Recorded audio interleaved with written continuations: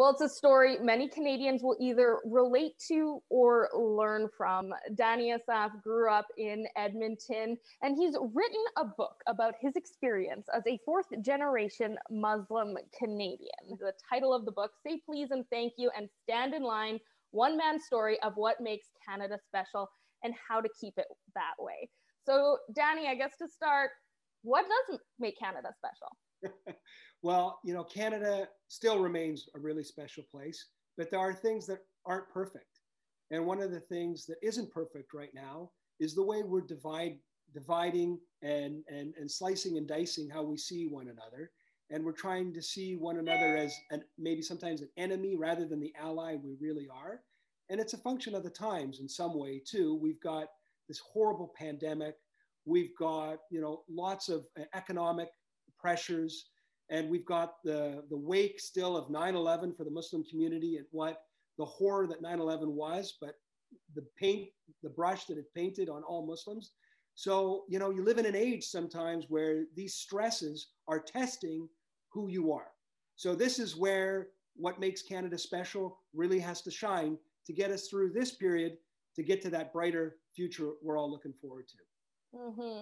And bringing up your your family history of of settling here on the prairies. I mean, I'm from Lac La Biche, so I've I'm used to having a big mosque in your community, uh, but that's not something everyone on the prairies would see. Talk to me a little bit about your family's yeah. history and founding the first mosque in North America, the Al Rashid.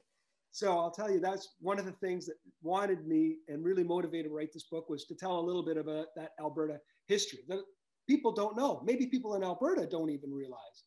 Uh, and like you said, Carly, uh, whether it's Lac La Biche or Fort Mac or Slave Lake, Alberta, where my family had a business too, there's a mosque and a church. I don't know whether people uh, realize that.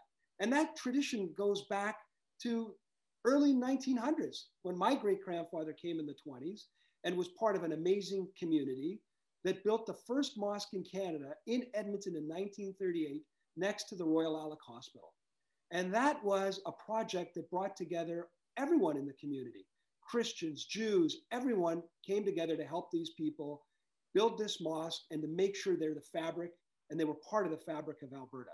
That's the Alberta that I grew up in, I knew. And yeah, after that, my great uncle uh, went to Lac La Biche and became uh, an award winning uh, mink uh, rancher and furrier.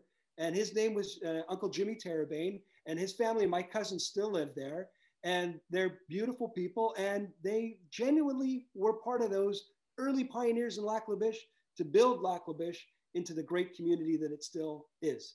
So and that's the history of Alberta.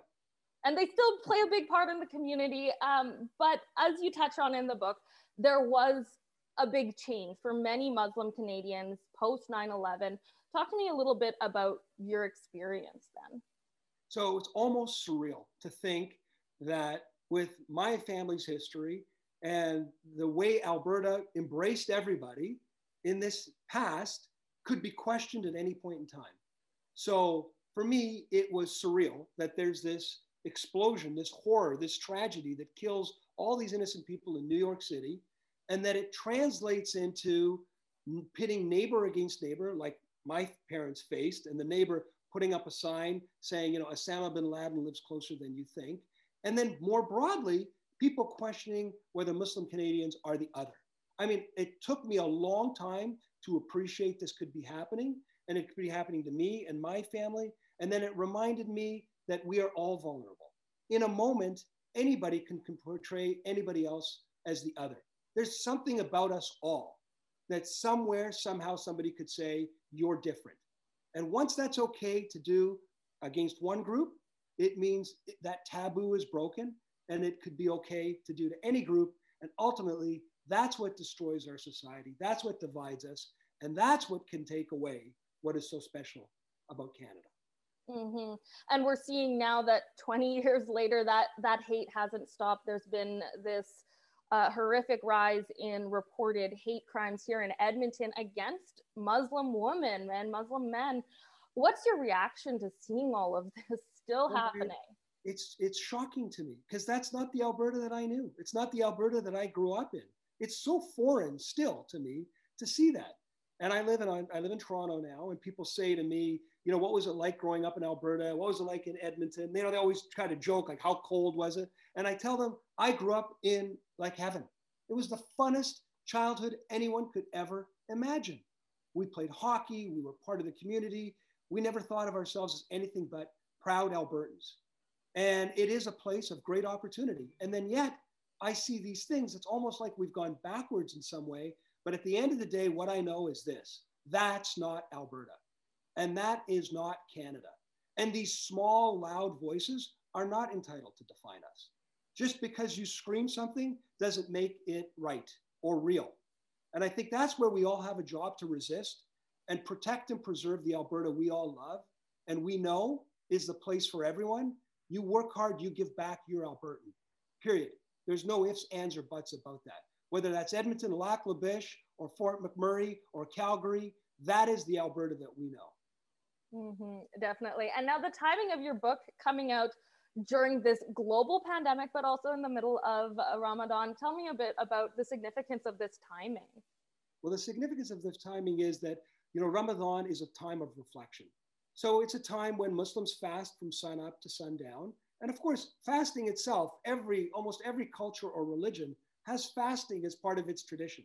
So it's again, even though it's the month of Ramadan, it's a tradition we, most people share. I mean, even in California, they're having like diets now to get healthy. So we all fast. But it's also a time when you reflect on what you have and be grateful for what you have. And it is a time where we reflect on what is great about Canada. And it makes it even more important to emphasize those things. So that's why it's really special for me that this book comes out in Ramadan because after this month of reflection and being able to share the experience of Ramadan with others and what it means to really use it as an opportunity to tell the story of Canada and to tell the story of Canada through a lens that people didn't appreciate or see that is also a part of our Canadian and Alberta history. And that's why it's important for me that this book came out during the month of Ramadan. Mm-hmm. Now, the book comes out on Monday, the May 10th you have the ear of Canadians. What's that one message you want them to hear? Is that we are all allies and not enemies. That there is no them, there's only us.